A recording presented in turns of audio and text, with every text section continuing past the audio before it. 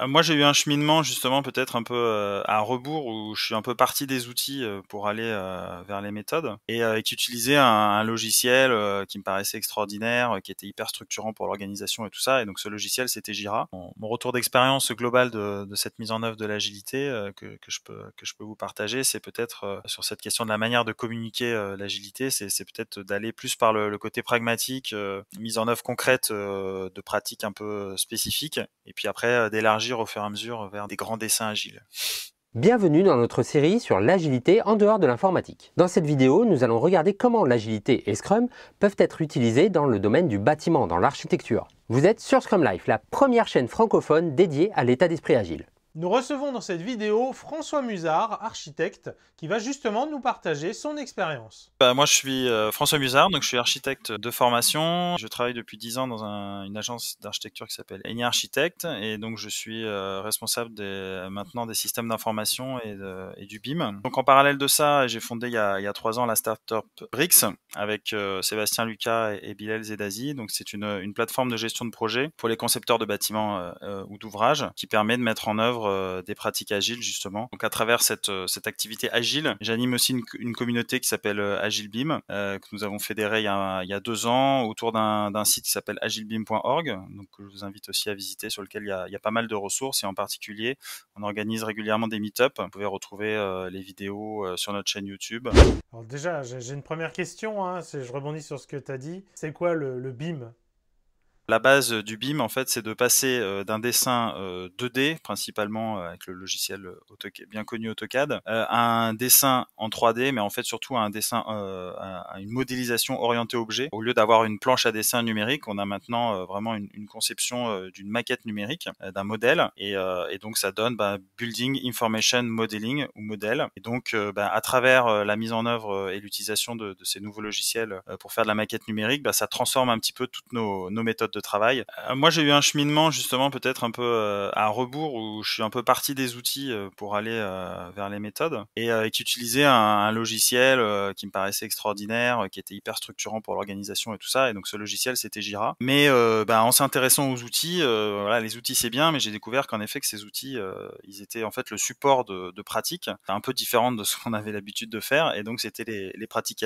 agiles. Et donc en fait, bah, j'ai tiré un peu le fil. Et c'est quand même, ça reste 20% de technique 80% d'humains. Et donc assez vite, ben, on est amené à, s'interroger sur nos pratiques de travail. Dans les équipes qu'on accompagne, on voit très souvent, il y a énormément de valeur à simplement euh, poser au clair euh, qui fait quoi, quand, comment, euh, avec des ateliers comme les rôles et responsabilités par exemple, ou aussi la mise en place d'une charte d'équipe, les, working agreements, soit poser le cadre.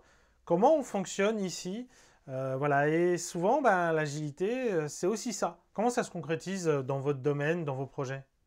Avec le, la maquette numérique, il y a eu ce besoin d'organisation. Donc il y a un nouveau rôle qui est, qui est apparu, euh, qui avait pas avant, qui est le, le BIM manager. Donc c'est une personne qui est là bah, pour organiser un petit peu euh, la production, un rôle d'organisateur, euh, donc qui passe en particulier par la, la rédaction, la rédaction d'un document qui s'appelle la, la, convention BIM et qui va ben, décrire à l'intérieur comment s'organisent les différents acteurs, comment après techniquement il y a tout un volet technique d'organisation des fichiers, du contenu des fichiers, du contenu de la, de la donnée qui est un, un sujet euh, de plus en plus important. Mais il y a aussi un, contenu organisationnel sur la manière euh, dont va être euh, le rythme de dépose des fichiers, donc qui peut, qui peut s'apparenter à, des, itérations, qui va être sur bah, les types de réunions qu'on va faire, la manière de, de les faire. Qu'est-ce que tu vois justement de, de grosses différences par rapport à l'informatique et par rapport à ce que toi tu essayes d'implémenter et les limites que tu as pu trouver Un des premiers postulats euh, de Scrum, c'est que, enfin vous me corrigerez évidemment, c'est vous les, spécialistes, mais, euh, mais c'est quand même qu'il y ait une équipe, euh, si possible, euh, colocalisée et une équipe qui, n'est, qui, qui bouge pas. Et un des, un des principaux,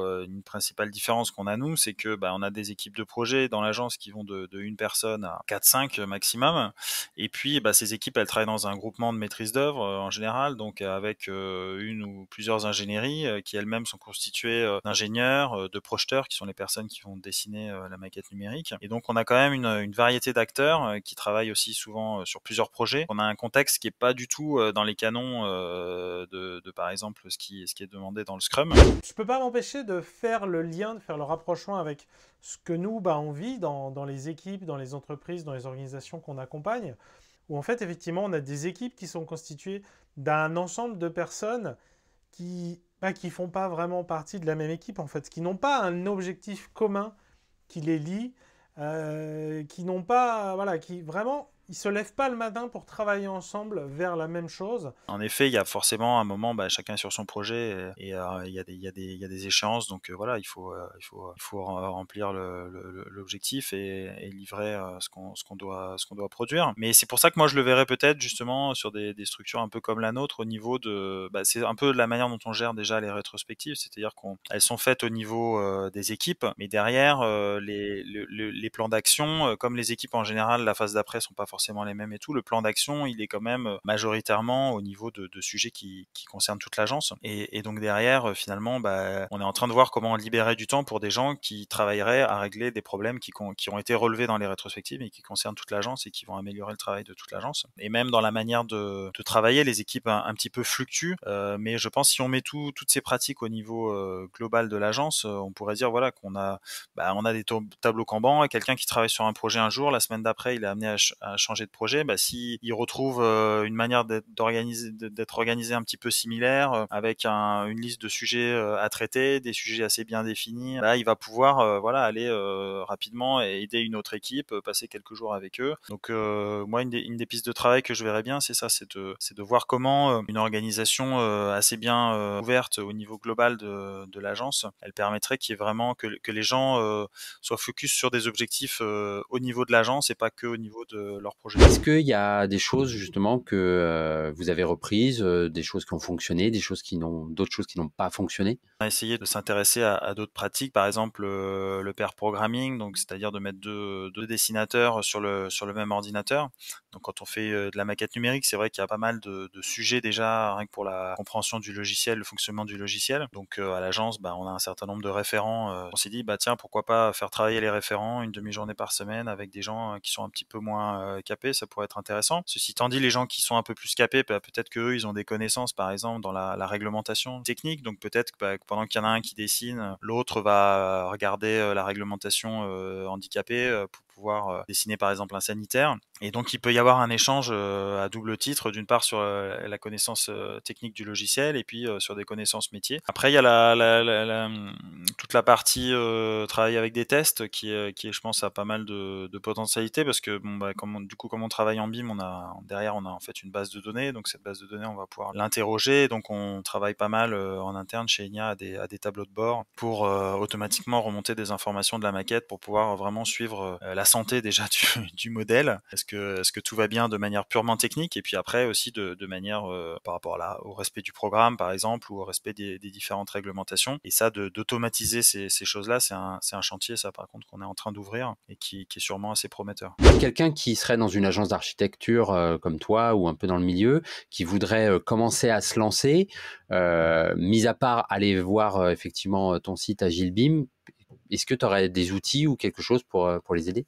Oui, en effet, avec Brix, on a, a formalisé justement un petit livre blanc qui reprend une, dizaine de pratiques euh, agiles qu'on peut mettre en place voilà, dans, des, dans des petites structures euh, orientées un peu plus euh, architecte pour le coup, secteur qu'on connaît le, mieux. Et donc voilà un peu de, des, différentes expériences qu'on a pu avoir à droite à gauche et des, retours d'expérience qu'on a, qu'on a pu acquérir. On a, a sorti ce, livre blanc, donc vous, vous aurez peut-être le lien quelque part pour pouvoir aller le télécharger. Oui, on va bien sûr mettre le lien dans la description qui accompagne cette vidéo. Et puis aussi, n'hésitez pas à, aller sur, euh, sur le site de notre plateforme euh, Brix, donc c'est brixapp.io, et donc on est encore en bêta, donc on a, on a besoin de vos feedbacks, donc euh, créez un compte, vous pouvez avoir trois utilisateurs gratuits. Est-ce qu'il y a une dernière chose que tu aimerais partager avec l'audience de Scrum Life, avec nos millions de spectateurs? bah, la gestion du changement, euh, c'est pas en, frontalisant trop les choses que ça que ça fonctionne. Mais voilà, mon, retour d'expérience global de, cette mise en œuvre de l'agilité euh, que, je peux que je peux vous partager, c'est peut-être euh, sur cette question de la manière de communiquer l'agilité, c'est, peut-être d'aller plus par le côté pragmatique, mise en œuvre concrète de pratiques un peu spécifiques, et puis après d'élargir au fur et à mesure vers des grands dessins agiles. Si les personnes veulent entrer en contact avec toi, comment faire? Quel est le meilleur moyen? Bah, vous pouvez me retrouver sur, euh, sur LinkedIn et puis euh, vous pouvez vous inscrire au, groupe euh, LinkedIn AgileBeam Community et poser vos questions directement. Donc comme ça, ça, ça bénéficiera à toute la communauté. Vous pouvez aussi consulter notre site agilebeam.org et, et souscrire à notre chaîne YouTube AgileBeam. Un grand merci à François pour son intervention. Cette vidéo, c'est un extrait de l'intégralité de l'entretien qu'on a pu faire avec lui. Si vous voulez voir justement la version complète, eh bien rejoignez la communauté des VIP de Scrum Life. Vous pouvez aller sur scrumlife.tv slash communauté et dans l'espace communautaire, vous trouverez le lien.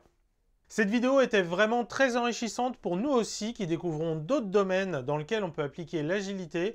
On vous donne rendez-vous pour le live où justement on en échange plus. On vous dit ce que nous on en a retiré. Si vous voulez plutôt redécouvrir euh, qu'est-ce que c'est l'agilité ou Scrum, vous pouvez aussi consulter notre formation gratuite. Évidemment, laissez un pouce vers le haut, partagez cette vidéo à quelqu'un d'autre qui la trouvera utile, et puis aussi abonnez-vous pour ne pas rater les vidéos, on en sort toutes les semaines. Vous êtes mes plus grands fans